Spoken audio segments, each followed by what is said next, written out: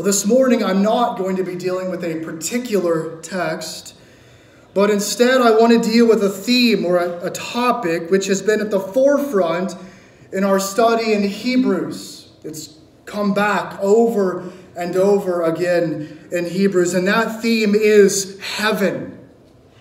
Heaven, where the glory presence of God dwells in unapproachable glory light. And not only is heaven where God's glory presence is, but it is likewise the destination of the redeemed, the saints. Hebrews, maybe more than any other book, emphasizes on the heavenly goal of God's people in the new covenant, the heavenly nature of it, or we might say the eschatological focus. The focus in Hebrews is on heaven from the beginning, the realm that belongs by way of promise to the saints of the Lord, the people of God, those who belong to and follow after Christ. The one who is the leader and captain who has already ascended, blazing the trail into that very glory realm itself. Christ, who made purification for sins on earth and now, having ascended, have sat down at the right hand of the majesty on high in this very highest heavens, behind the veil, which is why it is invisible to us. In Hebrews, we have seen that heaven is the realm of the true realities, while earth is the realm of the copies, the shadows. Or to say it more technically, heaven is archetypal, earth is ectypal. And this becomes very apparent in Hebrews 8, where we are told that the earthly tabernacle is a copy of the true archetypal heavenly reality. In that sense, heaven becomes the type, and the tabernacle on earth is the antitype. And therefore, it is a vertical relationship between heaven and earth, not merely a horizontal one between the old and the new covenants. Heaven is the true tent, according to Hebrews, the true temple, and Christ, the true high priest, who is there even now after making satisfaction for sins. There now interceding for us promising to bring us to where He is in our deaths until He comes again. Meaning, this heaven is the promised temple realm to which the saints are being and will be gathered. The temple realm into which my dear friend and teacher was gathered this week carried into glory in the arms of the Good Shepherd. And we see this in Revelation 7, this very temple realm where those who have died in Christ are in the presence of God. Revelation 7:14 they those who have died have washed their robes and made them white in the blood of the Lamb. Therefore, they are before the throne of God and serve him day and night in his temple. That's heaven. And he who sits on the throne will shelter them with his presence. They shall hunger no more, neither thirst any more. The sun will not strike them, nor any scorching heat. For the Lamb in the midst of the throne will be their shepherd, and he will guide them to springs of living water. And guide, God will wipe away every tear from their eyes. That is heaven. But when did this heavenly realm become the focus? Not in the New Testament, but even in the Old Testament the hope of heaven and the heavenly nature of our religion, the heavenly focus is not something that only begins with the coming of Christ, but it is the focus of the saints all throughout the scriptures. even back into the Old Testament. We might consider Isaiah and the other prophets who actually saw this glory realm, this dimension. They entered in behind the veil, seeing heaven, the throne of God, the temple of God, filled with his glory presence.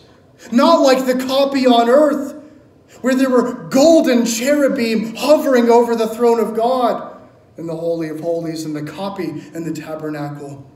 But Isaiah got a glimpse of the true archetypal reality. Isaiah 6. And surely this caused him and the others to desire heaven over and above earth, which was marred by sin and death, creating in them a hope. The hope of heaven, eternally dwelling there, not here, there, coram deo, before the face of God. Do you not think that one of the most heartbreaking moments in all of Isaiah's life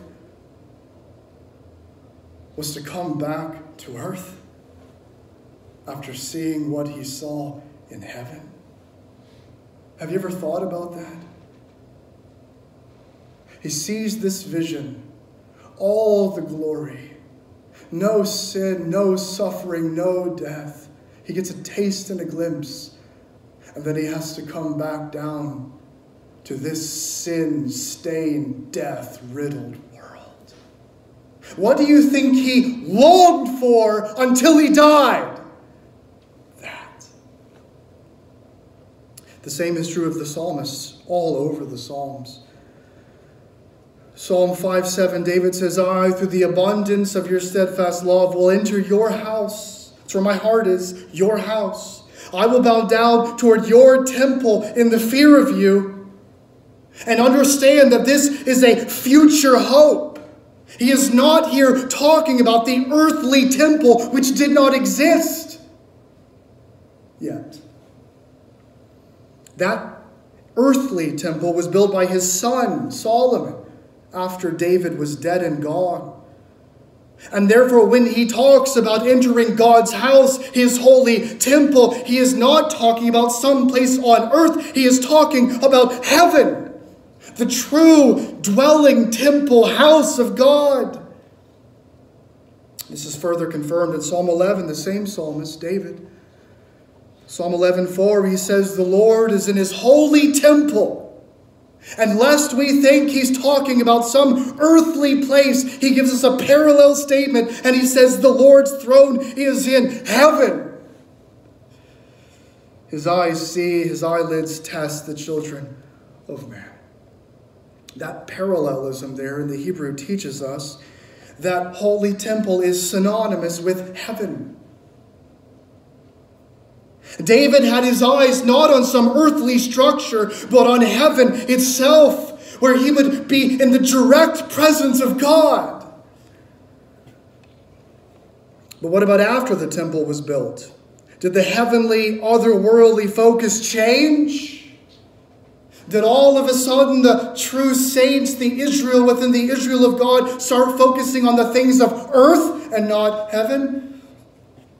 Well, even after Solomon built this temple, and as he was dedicating this temple to the Lord with all of the sacrifices and all that they were doing, as he's praying in the midst of this ceremony, he implores the Lord in different situations, saying, 2 Chronicles 6.39, in all of these different situations, Lord, he says, hear from heaven your dwelling place. Meaning that even with the earthly temple standing, built by Solomon, a temple made by human hands which could not contain the incomprehensible, infinite, and transcendent God. The focus, even then, was still otherworldly, heavenly. The focus was still on the archetypal temple, namely heaven, which, according to the Lord, is his throne. Isaiah 66 1. And yet we can go back even further. Even to the book of Genesis, chapter 28, for example, where Jacob has a dream. And in this dream, there's a ladder upon which he sees angels ascending and descending, a ladder that connects heaven, which is invisible, to earth, which is visible. Genesis 28 12. And he dreamed, and behold, there was a ladder set up on the earth, and the top of it reached to heaven. Verse 17, and he was afraid and said, How awesome is this place! This is none other than the house of God, Bet El. And this is the gate of heaven. Meaning that the land on which Jacob is laying, sleeping, this is the land of the union of heaven and earth, a type of the world to come, finding its fulfillment in Revelation 21. And the city where he had this dream is named in verse 19 Bet El, which in Hebrew, Bethel, means house of God, signifying that the heavenly dwelling of God with men will one day occur which necessitates a transformed earth, an earth that is conformed to the glory of the invisible heavens. The very reality purchased by and secured by and inaugurated by Christ Himself. He was the first fruits of this new creation, this heavenized world.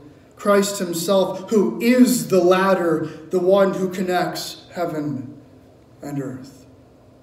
We know this because of John 1:51. Jesus said to him, "Truly, truly, I say to you, you will see heaven opened, and the angels of God ascending and descending on the Son of Man."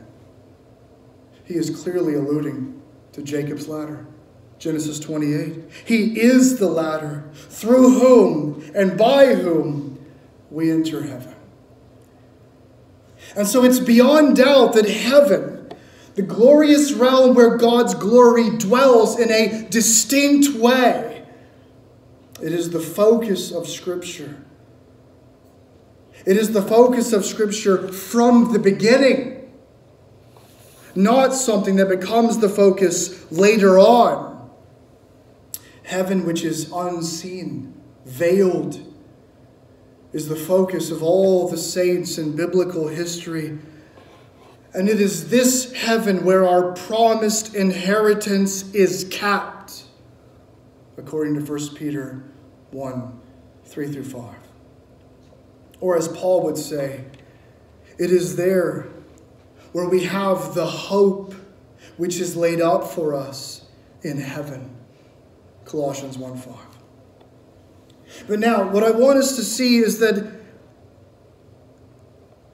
while we've seen that the heavenly focus is clearly there in redemptive history, meaning history after sin comes into existence, which then inaugurates God redeeming and saving a people for himself by grace. After that has happened, it's clear that the focus is on heaven. But what I want us to see next is that this heavenly focus, the realm of heaven, and the focus on that realm did not actually begin after sin, but actually before sin. Which means that from the very beginning of creation, from the very beginning of the existence of man, there is already a heavenly trajectory in the heart and mind of God's human beings. Now, to see this, we have to properly understand Genesis 1 1, which I think is very oftentimes not properly understood. Genesis 1 1 says that in the beginning, God, Elohim there, created the heavens and the earth. And what we have to understand is heaven here does not refer to the realm of the sun and the moon and the stars.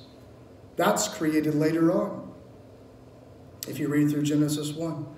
No, heaven here, which is created before earth, is the invisible glory dimension where God's glory presence will dwell. Meaning that God creates this invisible realm before he creates the visible realm in which we now dwell as human beings. And this is clearly the way Paul understood Genesis 1 1. And we know that because in Colossians 1 15 and 16, listen to what he says. He that is Christ is the image of the invisible God, the firstborn of all creation. For by him all things were created, in heaven and on earth. Genesis 1 1 visible and invisible. Whether thrones or dominions or rulers or authorities, all things were created through him and for him. Meaning that when Paul meditates and thinks about Genesis 1 1, he describes and thinks about heaven and earth as things which are visible in reference to earth and all that's created, which we can see, and things which are invisible in reference to all the things that lie behind the veil. And this is even clear, more clearly put forth when we understand the structure of his sentence. I don't know if you write in your Bibles, you should. but you might write next to verse 16 there A, B, B prime, A prime. That's a chiasm. It's a chiastic literary structure in such a way that the A's are related and the B's are related. These occur all over the Bible, all the time.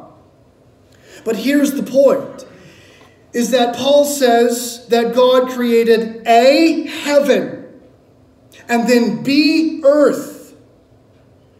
And then he moves to B prime, things which are visible, meaning earth and visible are together synonymous and then back to A prime, things which are invisible. So the point is, and there's plenty of other texts we could look at to see where the highest heavens are mentioned. Nehemiah 9 6 is one, there's others. But what's happening here is that when God creates all things, He is creating all things which are invisible, which we think of as heaven, which is a realm where God dwells, and then the earth that which is visible, which we can see, and that realm which we live in now. And why is this important? It's important because once we see that heaven here is not the sun, the moon, and the stars, then we automatically will be able to understand better the trajectory of Adam in the garden, which then explains the heavenly focus of redemption. after God creates heaven. So many Christians think that heaven has eternally existed. That's very problematic. That's pantheism. That means that you now have something other than God that has the same properties as God. Only God existed in eternity, and nothing outside of God existed. Heaven as a realm is something outside of God, which came into being, which then he indwelt. And when did it come into being? Genesis 1 1. But after he creates that, and after he creates all that's visible, the whole world, he creates man. And at the same time that God creates Adam in knowledge, righteousness, and holiness, concurrently, meaning at the same time, by a special act of providence, God enters into a covenant with Adam as one who will represent the entire human race, as one who will represent everyone who comes forth from him by ordinary generation, which is all humanity. And this is often called the covenant of works. And what is this covenant? Well, when God places Adam as prophet, priest, and king in the garden of God, he gives him a very specific command. That's a special revelation pre redemptive, special revelation. This is the covenantal Word of God. And that word is a probationary word in which God tells this creature who is made upright in his image to not eat from the tree of the knowledge of good and evil. That is the tip of the iceberg of the covenant of works. And what will happen if he eats? He will die. He will die in the absolute sins. He will die physically, spiritually, and eternally. But what if he doesn't eat? What if he, hypothetically, of course, passes this probationary period, he moves through the testing, and he does not disobey God? Well, the answer is he will live. But understand that it will not just be a living as he is presently living. He will not just be, he will not just exist with the present existence that he already has. But he will live in a way that is symbolized in another tree, the tree of life which has sacramental fruit that points to a life that Adam did not yet have. This is why understanding Genesis 1 1 matters. It teaches us that Adam is created, he immediately undergoes probation within the covenant of works, and the prospect put before Adam in the garden before sin is ultimately heavenly existence heavenly life if he succeeds and passes the probation, not eating from the tree of the knowledge of good and evil, but judging the angel who has fallen. Do you ever wonder why Paul says we will judge angels? Because Adam was supposed to. What is Satan but a fallen angel? Who comes to earth and he tries to create the same fall from heaven now on earth. And what was the prophet, priest, and king of God's garden supposed to do? Judge angels. And if he would have, if he would have passed this probationary test, not sinning, not transgressing God's covenantal law, then Adam would have no longer worshiped God indirectly on earth as God came and went. But Adam would be moved. He would be directly and intimately now in heaven, in the dwelling place of God, worshiping God directly face to face in his holy heavenly temple. There would be a movement from indirect worship on earth, even up the Mount of Eden. Ezekiel 28. He would move from that greatness to something even greater, entering into heaven itself. A movement from indirect worship to direct worship. Now, if you understand that, you understand the book of Hebrews. Because what did we argue last week about Hebrews? That the very problem that the Hebrews are facing is that they are obsessed with indirect worship on earth in regard to all the types and the symbols, when now in Christ Jesus they have access to heaven where direct worship is. See how it's all connected? The point of all of this is that the goal for Adam was not merely earthly existence if he passed probation, the test. But he would move from earth to heaven, or at very least from earth to a heavenized earth. Now, I could cite numerous places from Vos to argue this, but I'm going to quote a couple of guys you probably aren't as familiar with, just to prove that I'm not crazy. Francis Turretin, he was a Reformed scholastic in Geneva. He wrote three volumes, Institutes of Elenctic Theology. He says this The sanction of the covenant attended the exaction of duty, It consisted both in the promise of reward and gain and in the threatening of punishment. But listen to what he says here.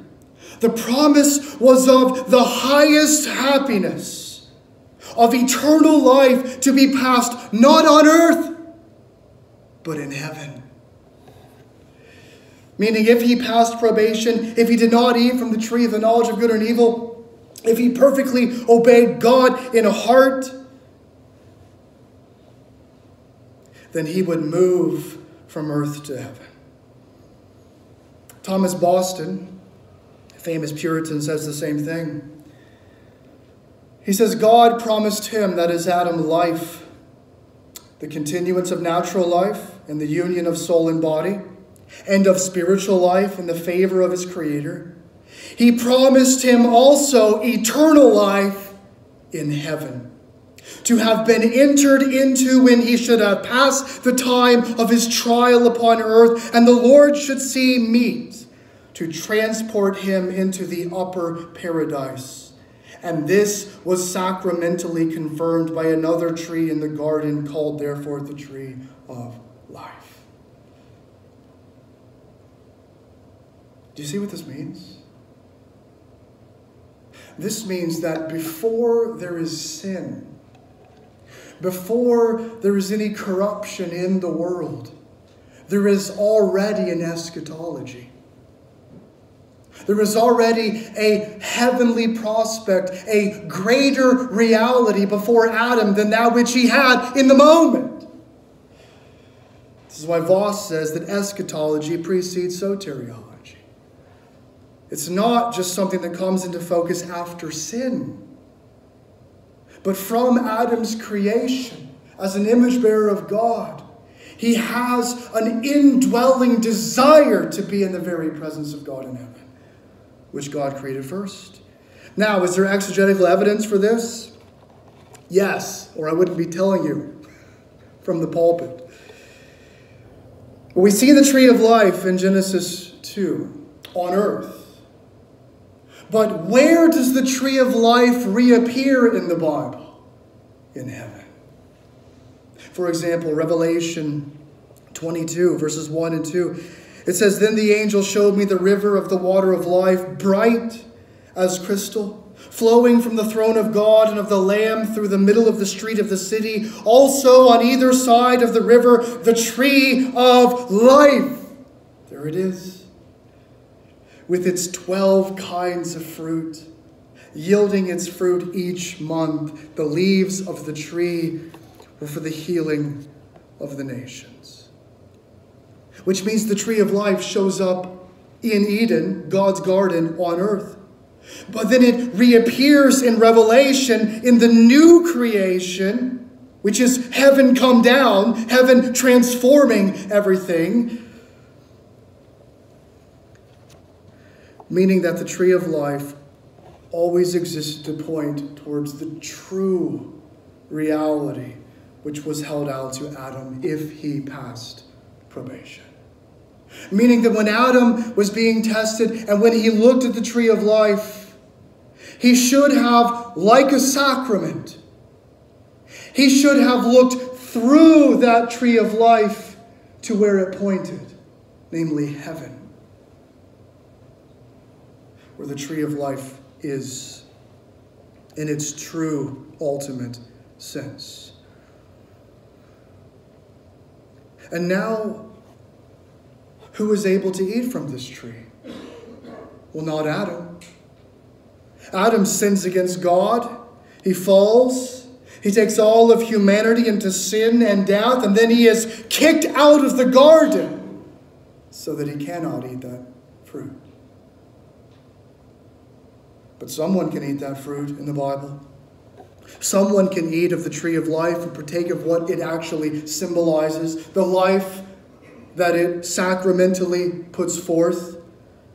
And the answer to that is in Revelation 2 7, the Lord Jesus to the church.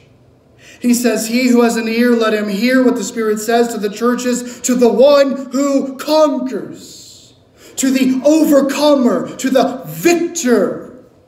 That Greek word's Nike. To the one who overcomes, I will grant a gift to eat of the tree of life, which is in the paradise of God. Meaning, those who eat from this tree are now gifted this fruit, and in eating so, they must be in the paradise of God, which is where? Heaven.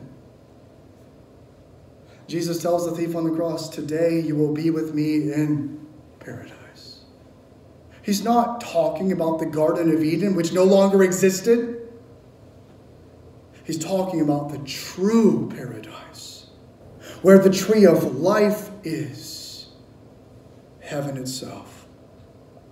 And that fruit, that life, that realm, it is for those who overcome, the victors in Revelation, and that is the saints who have trusted in none other than Jesus Christ, the second and last Adam, following now the Lamb wherever he goes, even into paradise. Meaning it is those who are in Christ who eat from this tree and thus receive heavenly eternal life in the true paradise of heaven. The very reality to which the tree of life in Eden pointed. But now we're beginning to transition from seeing the hope of heaven before sin, heaven as the life reward for Adam and his seed, because he was the covenant head representing all of us. We're now transitioning to the hope of heaven as the gift and inheritance and hope of those who are now in Christ which means very clearly that the goal, the prospect before Adam, was not aborted. God does not believe in abortion. He does not abort the heavenly goal when Adam sins, but instead, God promises that He will send another man, another Adam the second and last Adam, the seed of woman, Genesis 3:15, who we now know to be Jesus Christ, Son of God, Son of David, Son of Abraham, now incarnate forever, and he will be the one who represents a new humanity. Those who are not only born of the flesh, but of the Spirit. Born, yes, but born again. And he will be the one who likewise will undergo a probation a testing, that he might be made perfect as man, not as God. He must come and he must do what Adam did not do, and he must bear the penalty that has resulted because of what Adam did do. Which means that now, this last Adam, the Lord Jesus Christ, must come and he must perfectly obey the law of God unlike the first Adam who sinned? Well, he must also overcome the serpent, which he does in the wilderness. Do you wonder why, after Jesus is baptized, and the heavens open, and the Lord says, This is my beloved Son, with whom I am well pleased. Do you wonder why he is immediately ekbalo? He is thrown into the wilderness where Satan is? because he must crush the serpent, unlike the first Adam who was crushed by the serpent.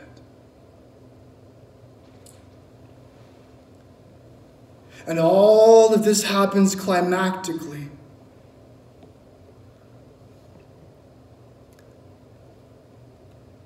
Whereas the first Adam was defeated by the serpent under a tree.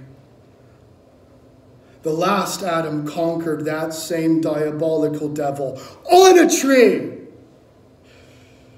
putting him to open shame and destroying death in his wrath bearing death, in order that now this new humanity, those who are born and born again, all who trust in this last Adam, the Son, might be accounted as righteous and forgiven on account of his work, his covenant headship. That we as believers, overcomers, saints might be counted as having perfectly obeyed the law with no threat of wrath ever again. And what is the reward? What is the end? What is the trajectory? The same end offered to Adam in the covenant of works, which was forfeited due to his sin. Yet now secured for a new race in and through another federal head the one who offered God perfect and exact and entire and perpetual obedience and satisfaction for sin, Jesus Christ. Securing for us eternal life in heaven, in the direct presence of God the very reality, the very directness, the very realm, which was the longing of the saints all throughout the Old Testament, especially David in the Psalms. Christ has secured, he has obtained, he has merited the very thing that was held out to Adam in the garden before sin. A true, intimate directness in the true temple tent of God in heaven, which is the emphasis and drive in Hebrews, as we've been saying. Which leads to the obsolete, the obsolete nature of all realities that emphasize indirectness and separation, like the earthly tabernacle and even a merely earthly garden. So it should be obvious to us, I hope, that heaven, the hope of heaven, heaven as a, a reality to be obtained, it permeates the Bible from Genesis onward. And because the triune God did not abandon this reward, this prospect after Adam sinned, breaking the covenant of works. Because it's still there and held out, we now, by faith in Christ, the obedient one who merited this reward in the covenant of grace, we now have and can have the same hope that transcends this present world which is now fading away and marred by sin and death. Which means that we in Christ, by faith, are heirs of another world, which cannot and does not fade away. We belong now in Christ, who is already there, to this very realm which is imperishable and unfading. It is the air we breathe as Christians, the air of eternity which blows upon us from heaven until our ship finds its port safely at home. This is why all throughout we see and read things like, If then you've been raised with Christ, seek the things that are above, where Christ is.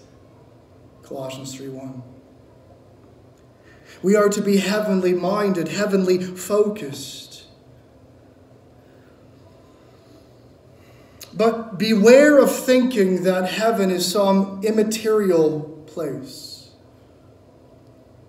No, the ultimate goal of God in regard to the hope of heaven is not and was not a bodiless existence in an immaterial spirit realm.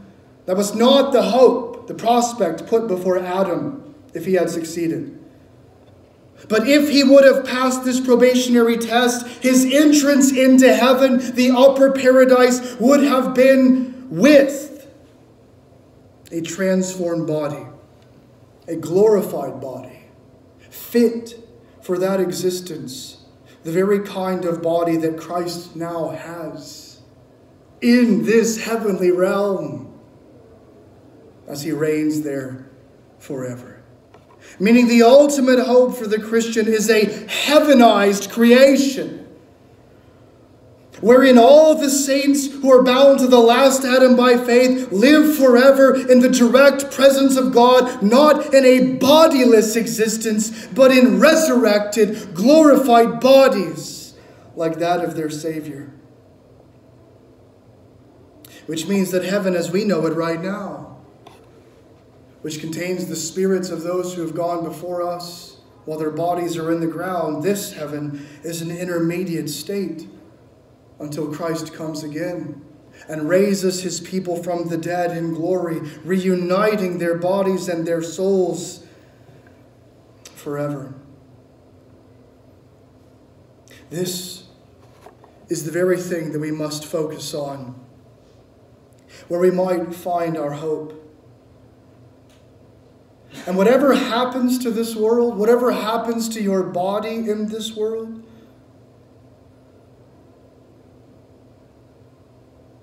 As all these things fade away, perishing day by day because of sin and death, which corrupts and destroys all things, and you know it, and you see it, and you feel it. I know I say it a lot, but every morning when you look in the mirror, you see death. Every new wrinkle is a sign that you are dying. Every pain in your knee is preaching to you that you are getting old and you are fading away and you are dying. Every time you put a pill in your mouth for your heart, every time you take ibuprofen or Tylenol, or you put on makeup trying to cover up wrinkles and spots, all of that is telling you that you are dying.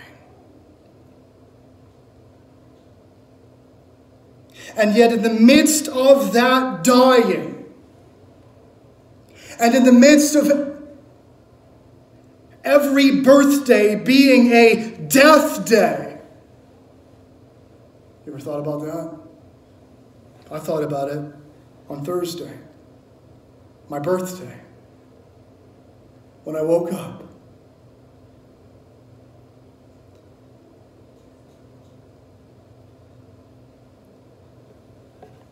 First thing I saw, Dr. T is gone. My birthday was a death day. And it reminded me of the end of all men. So the last sermons I listened to him preach. And yet, in the midst of every death day, and in the midst of all of this fading away and this perishing, we can have an unshakable hope that is unfading and imperishable. One that is anchored in heaven, bound to Jesus Christ, who lives forever, the one who has promised to sustain us and to bring us home to where He is. And therefore, do not let any suffering, no affliction, no pain, no frustration keep you from the hope that is rooted in another world, a reality that is coming. Paul says, I consider that the sufferings of this present time are not worth comparing to the glory that is revealed to us. God will make up for all of your suffering.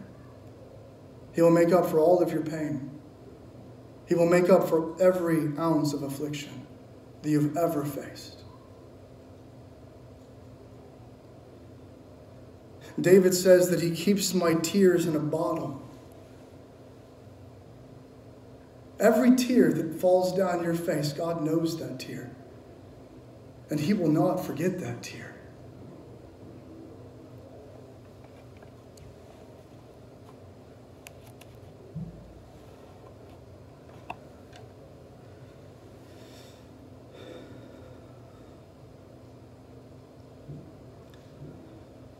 You know, my, my dear friend and teacher,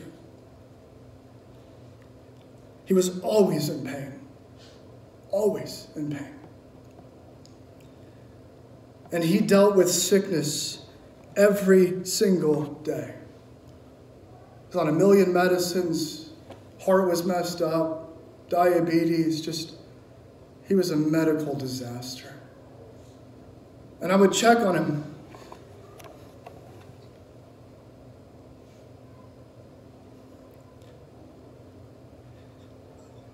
Every day. I'd text him or message him.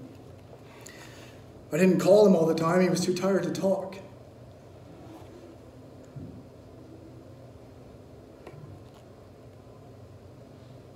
But he always reminded me to not pity him. He would not allow it.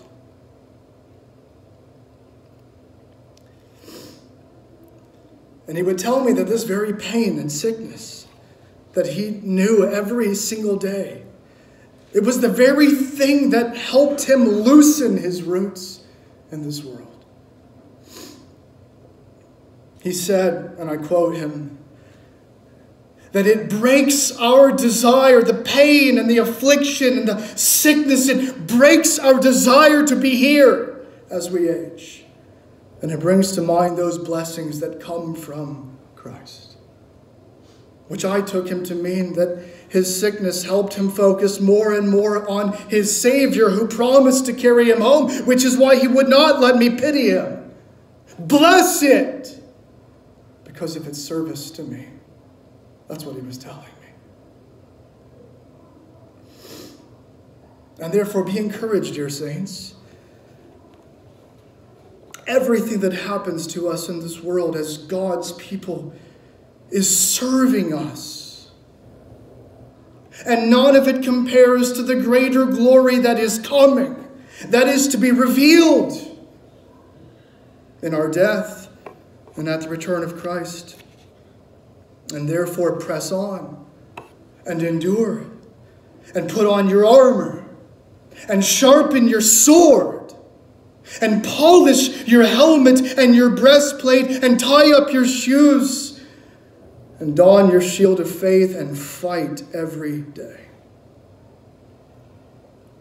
Knowing, as Samuel Rutherford has said so beautifully, that when we shall come home and enter to the possession of our brother's fair kingdom, and when our heads shall find the weight of the eternal crown of glory, and when we shall look back to pains and sufferings,